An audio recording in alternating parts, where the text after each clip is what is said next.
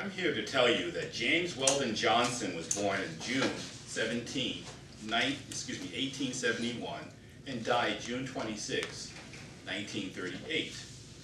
He was an educator, lawyer, diplomat, songwriter, writer, anthropologist, poet, activist. His nationality was American as he was quoted to state. Notable works include Lift Every Voice and Sing, the autobiography of an ex-colored man. Literary movement involved the Harlem Renaissance. So basically, you could tell him he was not a doctrinaire. Today, I will attempt to interpret one of his many poems that he penned in his 67 years. The poem is his interpretation of a book of the Bible, Genesis, and it's based on that book. The title of his poetry is The Creation.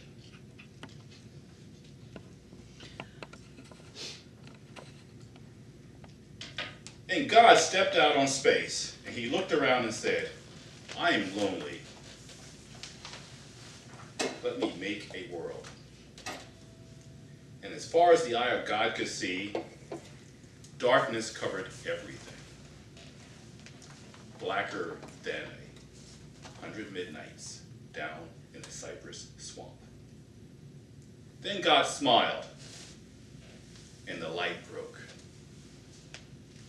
And the darkness rolled up on one side, and the light stood shining on the other. And God said, That's good. Then God reached out and took the light in his hands.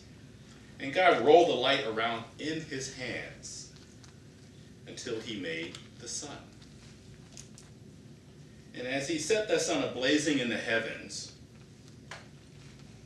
and the light that he had left from making the sun, God gathered it up into a shining ball. He flung it against the darkness,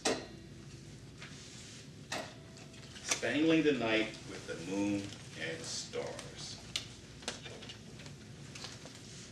Then down between the darkness and the light, he hurled the world.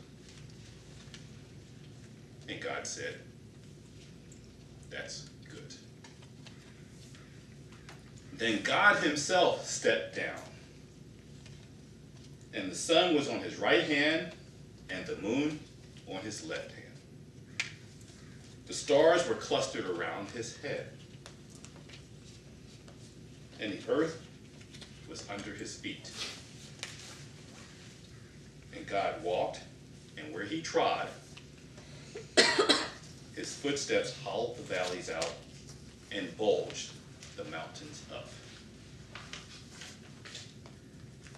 Then he stopped and looked and saw that the earth was hot and barren. So God stepped over edge of the world and he spat out the seven seas. Just looked over there. He batted his eyes and a lightning flashed. He clapped his hands and the thunder rolled. And the waters above the earth came down. The cooling waters came down. Then the green grass sprouted, and the little red flowers blossomed.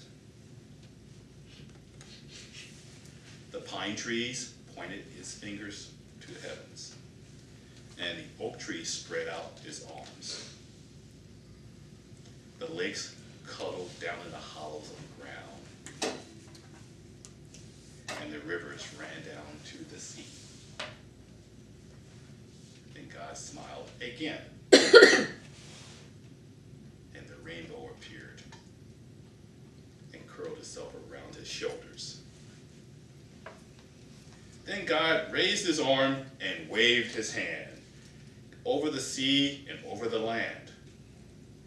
And he said, Bring forth, bring forth. And quicker than God could drop his hand, fishes and fowls, and the beasts and birds swam the rivers and the seas, roamed the forests and the woods. and split the air with their wings. And God said, That's good. Then God walked around, and God looked around on all that He had made. He looked at His sun,